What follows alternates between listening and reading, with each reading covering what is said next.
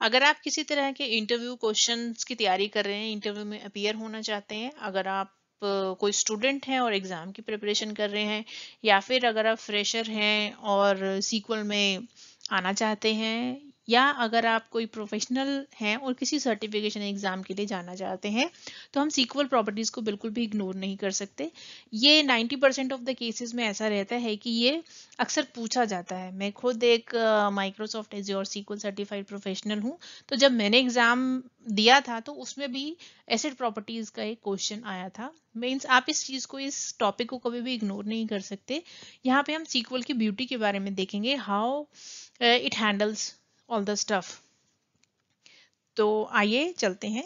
Atomicity का मतलब रहता है कि ऑल और नथिंग मतलब हर एक चीज़ यूनिक है, या तो आपकी ट्रांजेक्शन होगी या फिर वो बिल्कुल नहीं होगी कंसिस्टेंसी का मतलब कुछ एक डिफाइंड रूल रहते हैं, उन्हीं के हिसाब से हमारा सारा डाटा सेव होता है अपडेट होता है, और उसके बियॉन्ड उन रूल्स के बियॉन्ड नहीं जाता।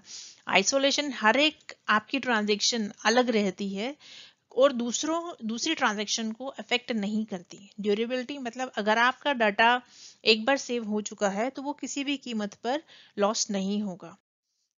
आइए अब हम इनके बारे में डिटेल से जानते हैं एटोमिसिटी ये एक टिप है ऑल और नथिंग रूल आप इसको इस तरह से याद कर सकते हैं कि या तो आपकी ट्रांजेक्शन पूरी तरह से कंप्लीट होगी, या फिर पूरी तरह से नहीं होगी। यहाँ पे बीच का पार्शल कुछ भी नहीं रहता। एटॉमिक रहती है ये ट्रांजेक्शन ट्रांजेक्शन जब भी होती है, हमारे पास दो चीज़ें होती है, या तो ये अबोट होगी या फिर कमिट होगी।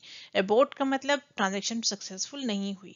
और कमिट का मतलब सारे चेंजेस जो भी आपने किए, वो सारे सक्सेसफुल हैं और आपको दिखाई दे रहे हैं अलग अलग पोर्टल्स के ऊपर, या फिर सपोज़ आप, अगर बैंकिंग सिस्टम का एग्ज़ाम्पल लें तो आपके अकाउंट में जो भी ट्रांजेक्शन हुई थी, वो सब आपको दिखाई दे रही हैं। इसमें पार्शल जैसा कुछ नहीं होता। अगर हम एक एग्ज़ाम्पल के बारे में बात करें सपोज़ किसी ने आपके अकाउंट में एक हज़ार रुपए ट्रांसफ़र किए तो ऐसा नहीं होता कि दो सौ रुपए आपके अकाउंट में आ रहे हैं और आठ सौ रुपए अभी तक नहीं आए। तो अगले कुछ घंटों में पाँच सौ रुपए हो गए और पाँच सौ पेंडिंग है। अगले कुछ घंटे में आठ सौ हो गए और दो सौ पेंडिंग है तो इस तरह से नहीं रहता। या तो आपकी ट्रांजेक्शन पूरी तरह से हो गई, या फिर बिल्कुल नहीं होगी आइए इसको एक एग्ज़ाम्पल की तरह से सोचने की कोशिश करते हैं कि ए और बी दो यूज़र हैं जिन्होंने फंड ट्रांसफ़र कुछ किया है। पहले ए यूज़र के पास तीस डॉलर थे, इसने कुछ डेबिट किया बी यूज़र को दस डॉलर और अब इसके पास बीस डॉलर अमाउंट पेंडिंग है। डॉलर बी जिसने फंड रिसीव किया, इसके पास पहले सौ डॉलर थे, अब एक सौ दस। डॉलर इसके पास अवेलेबल है। डेबिट भी यहाँ सक्सेसफुल हुआ क्रेडिट भी सक्सेसफुल हुआ दोनों के अकाउंट भी अपडेट हुए। ये कंप्लीट ट्रांजेक्शन है। मतलब अपने आप में एटॉमिक और कंप्लीट ट्रांजेक्शन है। यहाँ पे पार्शल जैसा कुछ भी नहीं होता।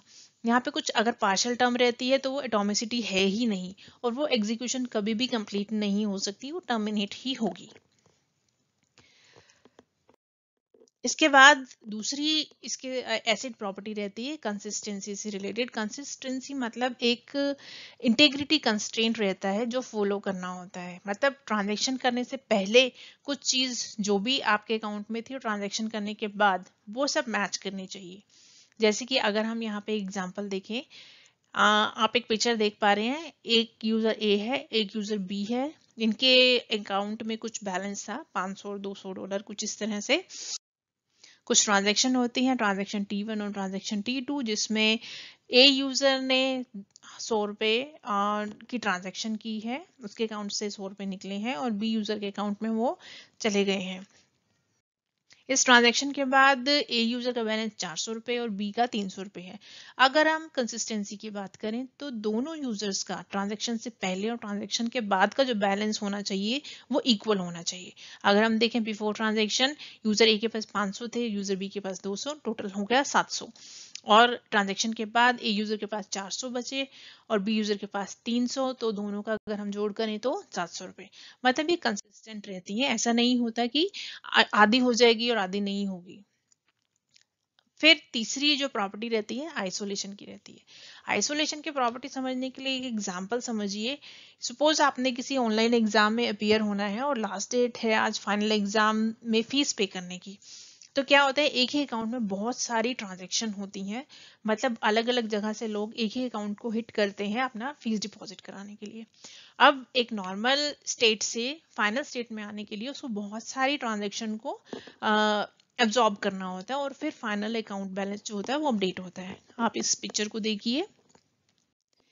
इसमें इनिशियल स्टेज में ये नॉर्मल अकाउंट था, फिर कनग्रेंट ट्रांजेक्शन हुई। कनग्रेंट ट्रांजेक्शन एक ही समय में बहुत सारी ट्रांजेक्शन एक ही अकाउंट पर होती हैं तो उनको हम कनग्रेंट ट्रांजेक्शन करते हैं, कहते हैं। और यहाँ अलग अलग कलर से दो जो आपको लाइंस दिख रही है, वो ट्रांजेक्शन को रिफ्लेक्ट किया गया। और फाइनल हम एक्सपेक्ट करते हैं कि अब फाइनल स्टेज में इस अकाउंट में ये सारी ट्रांजेक्शन कंप्लीट हो गई हैं। अब इन ट्रांजेक्शन को कंप्लीट करने के लिए सीक्वल की एक ब्यूटी है जो उसने हमें प्रोवाइड किया हुआ है आइसोलेशन का फीचर इसमें क्या होता है, वो हर एक ट्रांजेक्शन को अलग और यूनिक रखता है, कभी भी मिक्स नहीं करता। आइसोलेट एक ट्रांजेक्शन दूसरे ट्रांजेक्शन से बिल्कुल अलग है, इंडिपेंडेंट है। और ये कभी भी ऐसा नहीं होता कि मिक्स हो जाए, मर्ज हो जाए। एक यूज़र ने अकाउंट में बैलेंस दिया और वो किसी दूसरे यूज़र के नाम पर क्रेडिट हो गया, ऐसा नहीं होता। तो क्या हर एक ट्रांजेक्शन इंडिपेंडेंट होती है? जी हाँ बिल्कुल। और ये कैसे पॉसिबल होता है? ये होता है थ्रेडिंग का एक कॉन्सेप्ट रहता है, कॉन्करेंट थ्रेडिंग और लॉकिंग। जब तक हम आ, एक ट्रांजेक्शन को कंप्लीट नहीं कर देते या तो वो रोल बैक होगी या फिर कंप्लीट होगी। जब तक इन दोनों स्टेज में से एक स्टेज नहीं आएगी तब तक अगली एग्जीक्यूट नहीं होती। और ये टाइम नहीं लेता। नैनो सेकेंड के अंदर ट्रांजेक्शन हो जाती है इनफैक्ट उससे भी कुछ कम समय में मतलब एक सेकेंड के नौवे हिस्से से भी कम समय में ट्रांजेक्शन कंप्लीट हो जाती हैं।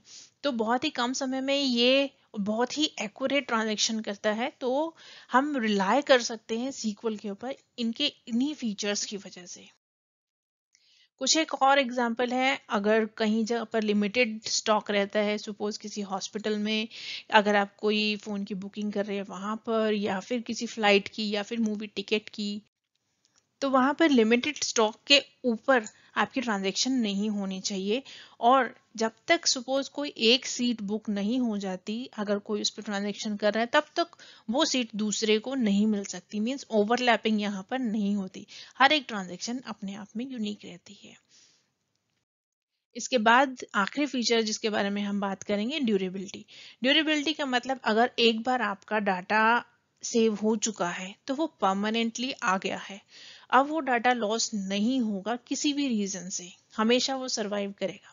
ये रीजन कौन से हो सकते हैं? या तो आपका सर्वर रूम में आग लग गई क्रैश हो गया सर्वर आपका, या नेचुरल डिजास्टर आ गए बाढ़ आ गई, आग लग गई, या फिर बिल्डिंग कोलैप्स हो गई, भूकंप आ गया, कुछ भी रीजन हो सकता है।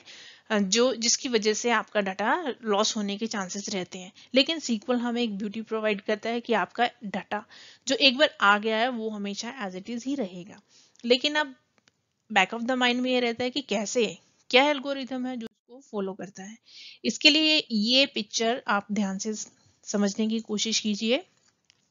यहाँ पे एक स्टेज वन है। स्टेज वन एक अकाउंट है जिसमें कुछ चेंजेस हुए। मान के चलिए कि कुछ अमाउंट इसमें आया है। जिसकी वजह से ये स्टेज टू में चला गया है। अब कुछ ऐसा हुआ नेचुरल डिजास्टर या कुछ भी एक्सवाइजेड रीजन जिसकी वजह से सर्वर आपका क्रैश हो गया। अब यहाँ पे सर्वर क्रैश हुआ मतलब आपका जो अकाउंट है, उसमें जो चेंजेस आए थे, वो नहीं हुए।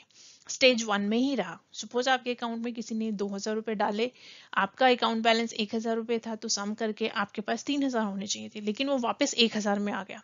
ना तो बैंक इस चीज़ को बर्दाश्त कर सकता है, ना ही आप कर सकते हैं। तो इस चीज़ के लिए सीक्वल काम कैसे करता है? ड्यूरेबिलिटी को मेंटेन करने के लिए कि आपका एक बार डाटा कमिट हो गया था तो वो वहीं रहना चाहिए। हमारे पास ट्रांजेक्शन लॉग रहते हैं। हर एक ट्रांजेक्शन जब भी अकाउंट पर की जाती है, चाहे वो इंसर्ट की हो अपडेट की हो डिलीट की हो, कोई भी ट्रांजेक्शन हर एक ट्रांजेक्शन लॉग में रहती है। मतलब कोई भी डाटा जो भी आपके अकाउंट में ऑपरेशंस हुए हैं, आपका फाइनल अकाउंट अगर अपडेट हुआ है एक हज़ार से तीन हज़ार तो वो एज इट इज़ लॉग्स में मेंटेन रहा होगा। किसने किया, कब किया, किस टाइम पे किया, किस अकाउंट में किया, क्या ट्रांजेक्शन की एवरीथिंग हर एक चीज़ लॉग मेंटेन रहता है। अब इन्हीं लॉग की मदद से ये सारा डाटा रिकंस्ट्रक्ट किया जाता है और पूरी तरह से रिकवर किया जाता है इन्हीं ट्रांजैक्शन लॉग की मदद से, जिसकी वजह से आपको आपका डाटा लॉस नहीं होता और एज इट इज़ मिल जाता है। तो ये है हमारे पास ड्यूरेबिलिटी तो इसी के साथ हमने चार चीज़ें पढ़ी हैं atomicity consistency isolation and durability acid properties atomicity या तो ऑल और नथिंग कंसिस्टेंसी सेम रहेगा। आइसोलेशन एक डाटा दूसरे डाटा को या एक अकाउंट दूसरे अकाउंट को मिक्स नहीं होने देगा आइसोलेट रहेंगी ये ट्रांजेक्शन्स ड्यूरेबिलिटी अगर एक बार सेव हो गया तो वो हमेशा रिटेन रहेगा। किसी भी वजह से वो लॉस नहीं होगा फुली रिकवरेबल है। Thank you keep learning keep moving forward अगर आपको हमारी वीडियो अच्छी लग रही हो तो कृपया इसे सब्सक्राइब करें लाइक करें शेयर करें कमेंट कीजिए एंड कीप लर्निंग धन्यवाद.